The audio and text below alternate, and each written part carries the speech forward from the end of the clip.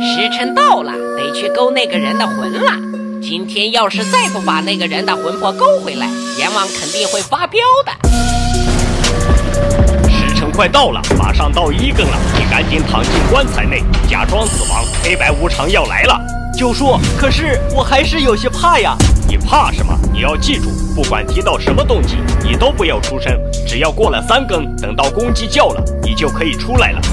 九叔，我还是有点担心啊，万一黑白无常不吃这套怎么办呢？只要我交代过你的这些环节没有出错，那就不会出问题。切记，一定不能出错。我走了。九叔，你去哪儿啊？回家。我不能在这里，我在这里反而会引起他们的怀疑。你自己当心点儿。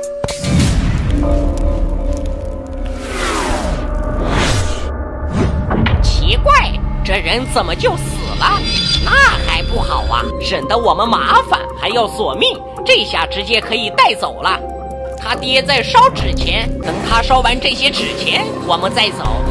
九叔没骗我，这俩货果然是个视钱如命的鬼。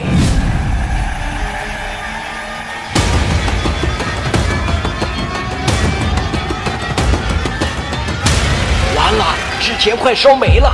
哎，这下咋办呢？他钱烧完了，我们也该走了。快去把他魂魄拿出来！啊，他没有死，是装的。儿子，快跑！啊，这下完蛋了！九叔，快开门呐！完蛋了，我儿子被他们带走了。现在才三更不到，你是怎么搞的？哎，这一切都怨我呀！我一紧张就把纸钱给烧没了。那这下就玩完了。九叔，求你了，你再想想办法吧。我只知道现在只有你能救我儿子了。还有一个办法，或许可以试试，不过会很危险，搞不好我也回不来了。什么办法呀？下地府啊？什么下地府？不错，当年祖师爷还魂也是下地府才救回来的。现在你儿子已经被押去地府了，想要救回他，只能闯地府把他拉回来。需要我做什么？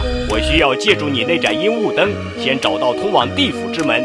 等我灵魂出窍后，你就点上长明灯，切记不要让灯熄灭了，不然到时候我们回阳间就找不到路了。还有，我去地府的这段期间，不要让任何人以及猫狗之类的动物接近我的真身，否则会出大事。会出什么大事啊？这你就不用管了，只要记住我跟你说的话。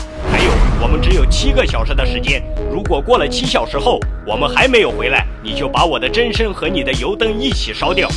为什么呀？因为这是个入口，也是出口。如果七个小时已过，地府那些孤魂野鬼就会看到这个出口。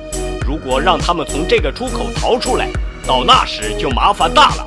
那岂不是你们也回不来了？所以我们要争取在七个小时以内回到阳间。